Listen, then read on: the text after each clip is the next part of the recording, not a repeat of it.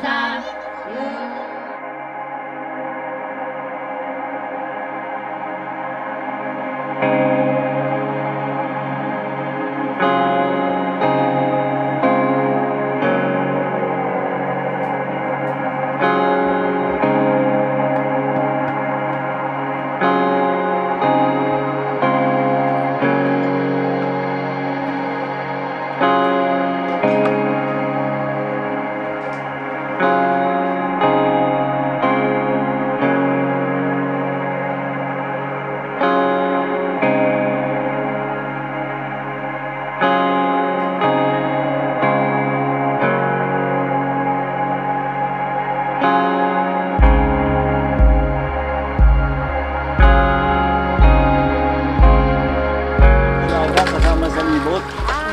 At matap ay pero yung bastonero yung tandang ano, kuya ano na Bilaniba. Tanggalin itong po ano. Oh, ayun, ano yung tandang itong flauta. Kaya nga, ano nga, ano gitara. mas mabuo yan. Ay dating panata na yun, ah, tradisyon ng talagang pag-aurora noon. Talagang inililibot.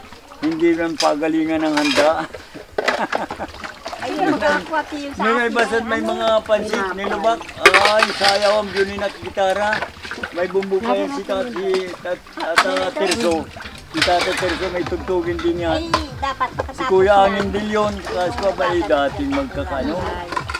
Sa Ay, dito sa gitara. Kilananaduyit naman, ano, dahil sa gusto lang magkaroon ng parang panata. Awang ko sila at itong sa amin na ito na ano, parang Nagmukna na lang kami ng isang siyamahan. Kami na nila ilay, yung sama-sama tayo. Isang siyam. Tapos magharabol na yung Opo. Iba din yung grupo sa labak.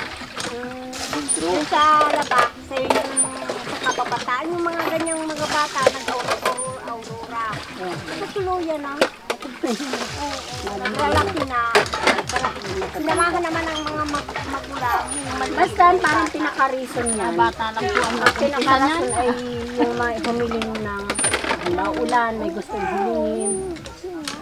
Tama yung sabi ni Kumari Doit, na napag may paurora, meron dapat yung may kumaari, yung may kabig, ay masama sa libot yung ano, lagi may kabig. Ay ngayon ay wala na.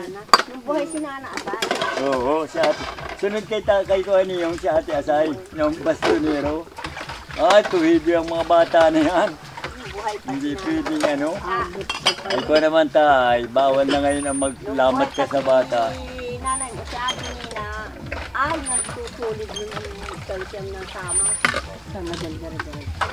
Kung mo kami makasalanan ngayon at kung kami mamamatay. Aba, Amen. Ginoong Maria, napupuno ka ng grasya ang Panginoong Diyos ay sumasa iyo, bukod kang pinagpala sa baing latek, pala ka naman na sa Jesus. Santa Maria, Ina ng Diyos, panalangin mo kaming makasalanan ngayon at kung kami mamamatay. Luwalhati sa Ama, sa Anak, sa Espiritu Santo. Kapara nung unang-una ngayon at magpakailanman at magpasawalang hanggan. Amen. O Jesus ko, Patawarin mo kami sa aming mga sala, iligtas mo kami sa apoy ng emperno.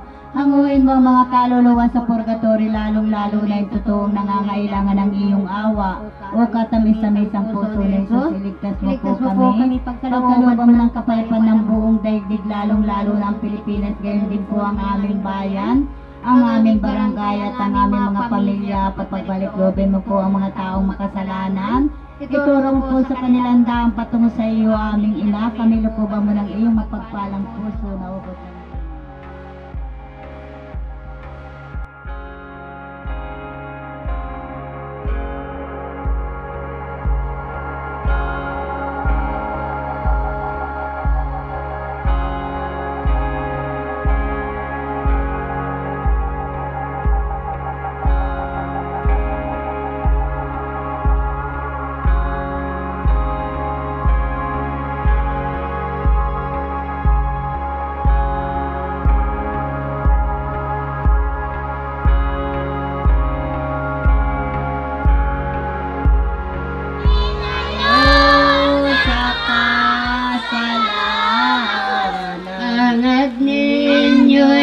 mapabuti